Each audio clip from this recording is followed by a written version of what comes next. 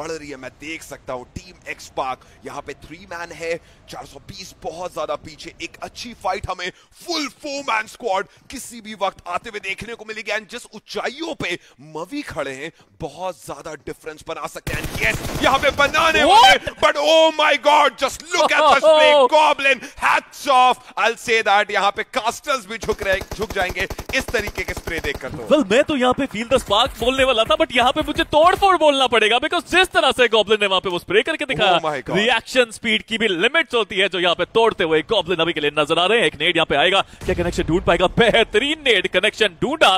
But जो दूसरा नेड है बाल बाल बचे। अगर ये गॉब्लिन का नेड हेक्टर पे गिरता तो बहुत परेशानी होती। देखिए, मैं एक चीज़ कहूँगा जादू चढ़े थे ऊपर पहले मैच में उनको गिराया गया था। जो सबसे ऊपर चढ़ता है उसका सबसे पहले नॉक किया जाता है। बट फ़िलहाल के लिए अल्ट्रॉन आ जाएँगे। मैं कहूँगा चलिए अच्छी चीज़ है कि यहाँ पे मवी को रिवाइवल मिल जाएगा। बट वो यहाँ पे मौका नहीं देंगे। एक अच्छा स्प्रे चाहता हुआ अल्ट्रॉन का। मैन पावर इक्वलाइज एक प्लेयर नॉक हेक्टर एंड दूसरे प्लेयर को भी यहाँ पे स्प्रे दिया जा रहा है। देखते देखते दो प्लेयर डाउन स्काउट पीछे मौजूद है एंड यही मौका है टीम एक्स पार्क के पास कि वो सोल को इस गेम में एलिमिनेट कर तो सकते हैं। एटलीस्ट तीन प्लेयर को यहाँ पे खत्म किया जा सकता है। स्काउट आगे की ओर जा रहे हैं, अक्षत राइट साइड में, अगर स्काउट ज़्यादा आगे गए तो मे भी एक वक्त स्प्रे आएगा एंड 420 का भी यहाँ पे, मैं कहता हूँ इन्वॉल्वमेंट हो चुका है इस फाइट में।